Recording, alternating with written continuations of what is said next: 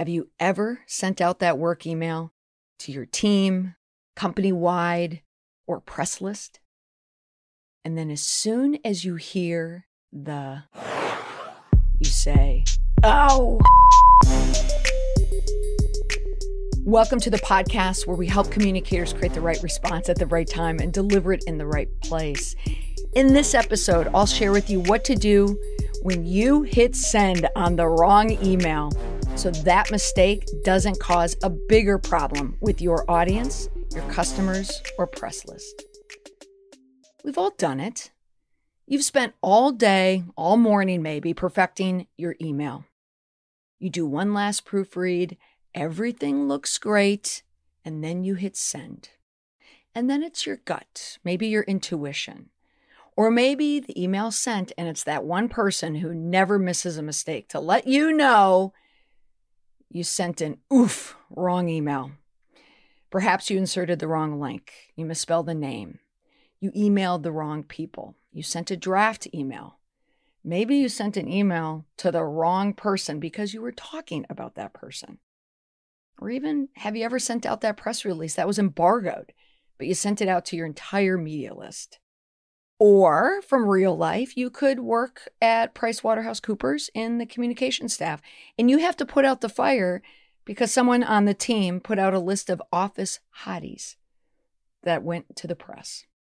Or from a story several years ago, there was an employee at a public relations firm who emailed his boss about how to deal with a client. His boss wrote back about the client's incompetence and how they hindered the team's ability to get anything done. Well, you know the rest. The client received the email and they yanked their $5 million account immediately. So you get the idea. So, on today's episode, three quick and easy steps for recovery for backtracking when you've sent the wrong email. So, in this episode, I'm going to give you some ideas for how to transform a mistake into an opportunity that can earn the respect back from the people you sent it to. All right, here we go. Step one. This is the most important step, and you have to do this immediately. When you hit send, you know you've made a mistake, you've sent the wrong email. Can you unsend it? Google has an option where you can very quickly unsend that email. I believe it gives you around 30 seconds. If you use a software package where you're sending out emails, a mass email, a lot of those programs allow you to unsend it, as mine does, as I've used in the past. Um, but now is the time to check does your system have that option? Whether it's your personal email or an email that you use with your company, check that. All right, the next step from step one, so this is step 1A, is to panic. Yes, you heard that right. Panic. because it gets your blood moving, it gets your adrenaline racing because you want to build that muscle memory of this moment so you don't do it again. All right, I may be half kidding on that advice, but it's also half true. Sometimes when you make those big mistakes, you want it to stick with you so you don't do it again. But here's the real step one just relax. Don't panic. The most important thing now is to determine the cause of the blunder so you can prevent it from happening again. How did you send the wrong email? Determine what the breakdown was. Was it a software malfunction? Was it human error? Was it your human error or someone else? By understanding what happened in the moment, you're going to know how to remedy the situation in the future. And then you're going to turn this simple mistake into an opportunity with an apology email. And if you know what happened, you can write an email, your follow up email, to explain it. All right, step two how to backtrack on the email. Once you've assessed the situation, now it's time to make the move to fix the problem. Now's not the time to act impulsively. So let your blood rate come down, let the adrenaline out of your system, and now you need to start thinking. Use calm, critical thinking in this moment. What is the best way to triage this email going out? Keep in mind that time is of the essence. So you want to start working immediately. You want a solution that's going to be quick. But there are many different ways that you can recover from that accidental email send. If it's something that wasn't personal, where if you have insulted someone, then you're going to panic and you're going to continue to panic because that's a hard one to rewind. But if it is to your customer list, to your audience, to your stakeholders, uh, to your members, whatever it is, first, you want to send that second email with some type of a subject that indicates it's a correction, that the previous email was incorrect. Because some people will see it and they won't even, most people, I would assume, wouldn't even open that original email to see the mistake.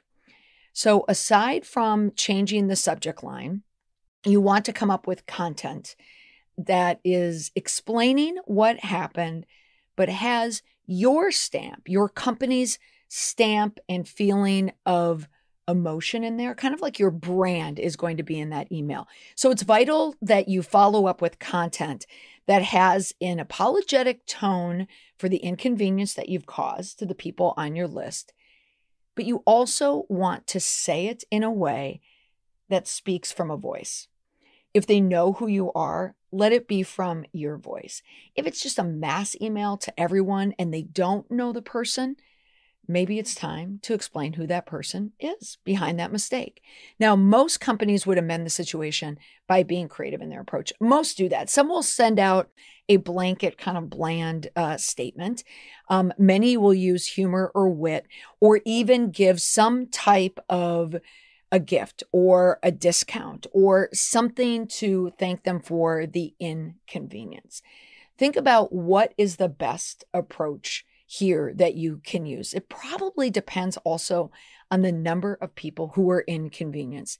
Some of the language that you can use in the header oops, sorry, or if you're in Canada, sorry, my bad, our bad, oops, we're sorry. You get the idea. If it was a media mistake, you've sent it to the press list. You, for example, I, I said earlier, sending an embargoed uh, news story to an entire list of journalists instead of just that one. The correction needs to be a bold correction. Please disregard previous email and then follow up with every person on that list personally, if it's a small list, so you can make amends personally. Um, mass email if necessary, but you may now need to change the scope of that embargoed story. You can explain that it's embargoed to someone else, or maybe turn it into an opportunity and release it early to everyone. That's the case. You got to get buy in for leadership that you're doing that and the rest of the communication uh, team. But remember, and this is important, and it also follows along with the indestructible PR, you know, response, which is step one you know you apologize you acknowledge you you know you accept a mistake that you made but you turn that into something by explaining the reason why you made it. And this is where being clever helps. Some examples of an apology email that i saw online. One uh, company a natural dog company sent an email with the header yesterday was rough. R-u-f-f another pet company had a clever response after sending out an email about an event that wasn't happening. It appears that it probably went to some franchise members, but not others. The copy they used. Unfortunately, your store is not hosting the event that was publicized. The email was sent in error. The dogs say the cats did it. The cats say the dogs did it. And the fish aren't talking. That's funny. Uh, the makeup company Smashbox, their header was Oops, we broke out the wine too early very on brand. Another email that I like, this one was a company named Arcadia Power. They apologized for an errant email written by their copywriter, Dalton. He had addressed every email to his name, Dalton. So in his apology email, he explained that he had accidentally addressed all the emails in his name. And then he added, to make up for mistakenly sending my own name instead of yours, I'll share a few facts about myself. I was named after Patrick Swayze's Roadhouse character. And he also sent a photo of his dog, Bindi, who said, and he wrote, he hates the rain and was not named after Steve Irwin's daughter. I guess it's the late Steve Irwin, but a dated example, but a very funny one. I thought it was clever. Be clever in your explanation. So, step three this is where we, again, just like in the response, the indestructible PR response, we're going to talk about our plans here. What are we going to do moving forward? How are we going to fix this? So, in your case, you want to learn from that mistake so it never, ever happens again. Now that you've analyzed the situation, you know why it happened, and then you cleaned it up, you fix the damage. Um, this mistake, you know, mistakes like this happen to almost everyone. So don't let it completely ruin your day, ruin your month. Um, think that you're going to be fired. So don't be too harsh on yourself. More often than not, truly, the people on the other end of that email are going to be forgiving and understanding of the situation. That is, unless it was just an errant business email.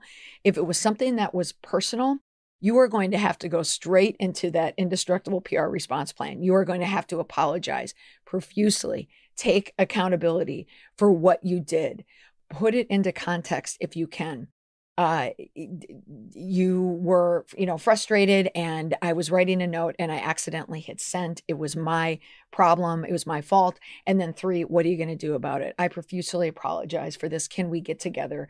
Um, can I do something? You know, whatever the plans are, I promise to not do whatever, but you want to use that immediate response plan for the triage. But if it is just a business email, a simple one, always think how can we turn this into an opportunity? It's a crisis right? It's a micro crisis albeit but it's still a, a, crisis that you can turn around into a good thing. It's an opportunity. If it's uh, if you're a company it's it could be a marketing email. Um, it could be an email that will gain you more customers if the follow up apology is a good one, people are going to respect you more.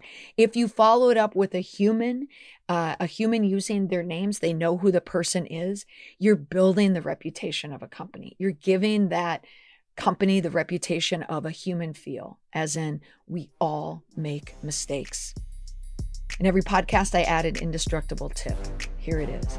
If that wrong email goes out and it's from your company, whatever you do, do not blame anyone else. Specifically, do not blame your junior staff and do not blame your interns.